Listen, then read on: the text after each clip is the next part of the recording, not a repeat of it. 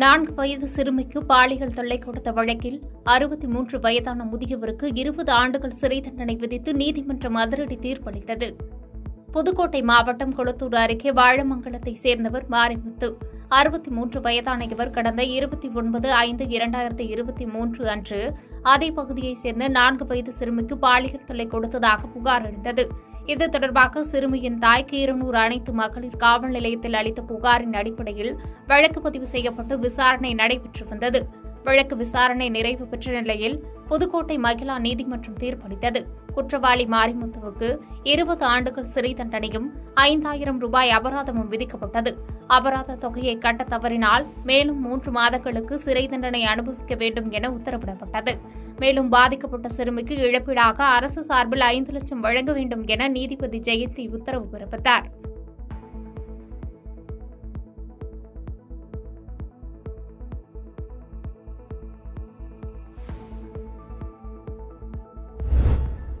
பழனி அருகே பேக்கரியில் வேலை செய்யும் இளைஞரை போதை ஆசாமிகள் தாக்கும் சிசிடிவி காட்சிகள் வெளியாகி பரபரப்பை ஏற்படுத்தியுள்ளது. திண்டுக்கல் மாவட்டம் பழனி அருகே உள்ள மேல்கரைப்பட்டி கிராமத்தில் தனியார் பேக்கரி கடை செயல்பட்டு வருகிறது. நேற்று இரவு மூன்று இளைஞர்கள் புகுந்து கடையில் வேலை செய்யும் அரவிந்த் சாமி என்பவரை தாக்கி காயப்படுத்தியுள்ளனர். மது போதையில் பேக்கரிக்கு வந்த இளைஞர்கள் கடையில் இருந்த நாற்காலிகளை அடித்து தகராறு செய்துள்ளனர். கடையில் வேலை செய்யும் அரவிந்த் சாமி என்பவர் இளைஞர்களை கடையை விட்டு வெளியேறும்படி எச்சரித்துள்ளார். ஆவேசமடைந்த போதை ஆசாமிகள் கடைக்குள் புகுந்து அரவிந்த் சாமியை கடுமையாக தாக்கி காயப்படுத்தியுள்ளனர். உடனடியாக அரவிந்த் சாமி கீரனூர் காவல் நிலைய போலீசாருக்கு தகவல் தெரிவித்துள்ளார். போலீசார் வருவதை அறிந்த போதை ஆசாமிகள் அங்கிருந்து தப்பியோடி தலைமறைவாகினர். புகாரை பெற்ற போலீசார் தகராறில் ஈடுபட்ட கல்துறை கிராமத்தை சார்ந்த விஜய் கவின் கார்த்தி ஆகிய மூவர் மீதும் வழக்கு பதிவு செய்து தலைமறைவான மூவரை தேடி வருகின்றனர். தூத்துக்குடி அருகே உயிரிழந்த தாயின் உடலுடன் ஆறு நாட்கள் இருந்த மனநிலை பாதிக்கப்பட்ட மகன் பின்னர் தாயின் உடலை வீட்டிற்கு வெளியே குழி தோண்டி புதைத்த சம்பவம் பரபரப்பை ஏற்படுத்தியுள்ளது. தூத்துக்குடி ஐயனடைப்பு சிவசக்தி நகரை சேர்ந்தவர் ஜெயினுலாபுதீன் மாவட்ட ஆட்சியர் அலுவலகத்தில் வாகன ஓட்டுநராக வேலை பார்த்து வந்தார். இவர் கடந்த ஆறு மாதங்களுக்கு முன்பு உடல்நலக்குறைவால் உயிரிழந்ததாக கூறப்படுகிறது. இதைத் தொடர்ந்து ஜெயினுலாபுதீன் மனைவி ஆஷா பைரோஸ் மனநிலை பாதிக்கப்பட்டதாக தெரிகிறது. மேலும் தனது மகன் முகமது குலாம் காதர் என்பவருடன் வசித்து வருகிறார். முகமது குலாமும் சிறிதளவு மனநலம் பாதிக்கப்பட்டவர் என கூறப்படுகிறது. இந்நிலையில் இவர்களது வீட்டிலிருந்து துர்நாற்றம் வீசியதாக அப்பகுதி மக்கள் புகார் அளித்தனர். இதையடுத்து ஐயனடைப்பு விஏஓ எட்வர்ட் சம்பவ இடத்திற்கு சென்று பார்வையிட்டார். பின்னர் அவர் சிப்காட் காவல் நிலையத்திற்கு தகவல் அளித்தார். அதன் பேரில் inspector Mohanraj sub inspector Sivakumar மற்றும் போலீசார் சம்பவ இடத்திற்கு சென்று முகமது குலாம் காதரிடம் விசாரணை நடத்தினர். அப்போது அவர் கடந்த இரண்டாம் தேதி தனது தாய் ஆஷா பைரோஸ் இறந்துவிட்டதாகவும் உறவினர்கள் யாரும் இல்லாததால் தாயின் உடலை வீட்டிற்குள் குழி தோண்டி புதைத்து விட்டதாகவும் தெரிவித்தார். இந்த சம்பவம் தொடர்பாக போலீசார் வழக்கு பதிவு செய்து தீவிர விசாரணை நடத்தி வருகின்றனர்.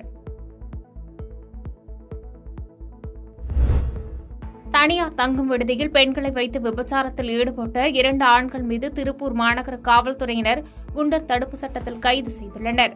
திருப்பூரில் பின்னலாடை நிறுவனங்களில் பணியாற்றக்கூடிய நபர்களை குறிவைத்து தனியார் தங்கும் விடுதியில் பெண்களை வைத்து பாலியல் தொழில் செய்து வந்த இரண்டு ஆண்கள் மீது திருப்பூர் மாநகர காவல்துறையினர் குண்டர் தடுப்பு சட்டத்தில் கைது செய்தனர்.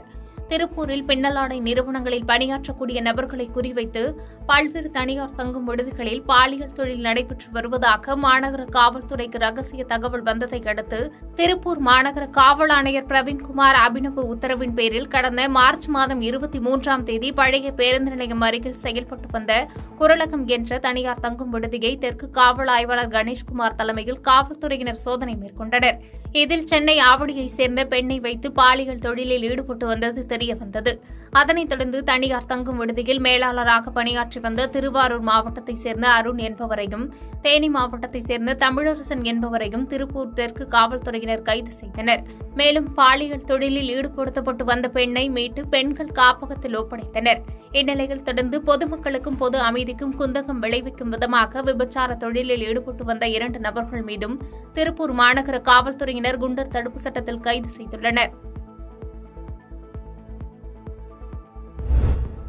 காரைக்குடியில் கிணற்றில் விழுந்த வாலிபர் பதினாறு மணி நேரம் கழித்து உயிருடன் மீட்கப்பட்டார். சிவகங்கை மாவட்டம் காரைக்குடி டிடி நகர் மூன்றாவது வீதியில் பல வருடங்களாக பூட்டி கிடக்கும் வீட்டின் பின்புறம் கிணறு ஒன்று உள்ளது. இங்கு வாய் பேச முடியாத மாற்றுத்திறனாளியான பெட்ரோல் பங்கில் வேலை பார்க்கும் ரஞ்சித் குமார் என்ற இளைஞர் இரவு எதிர்பாராத விதமாக விழுந்ததாக தெரிகிறது. தொடர்ந்து அவர் சத்தமிட்ட நிலையில் அப்பகுதியில் துப்புரவு பணியில் ஈடுபட்டிருந்த பணியாளர்கள் இளைஞர் ஒருவர் கிணற்றுக்குள் கிடப்பதை பார்த்து தீயணைப்புத் துறையினருக்கு தகவல் கொடுத்தனர். அதனைத் தொடர்ந்து விரைந்து வந்த தீயணைப்புத் துறையினர் சுமார் பதினாறு மணி நேரம் கிணற்றில் தத்தளித்துக் கொண்டிருந்த ரஞ்சித் குமாரை உயிருடன் மீட்டனர்.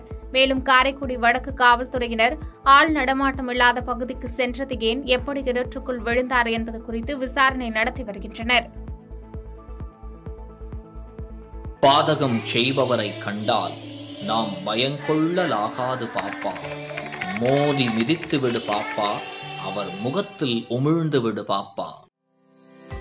அண்மை செய்திகளை உடனுக்குடன் தெரிந்து கொள்ள இணைந்திருங்கள் இயம்நாடு தொலைக்காட்சியுடன்.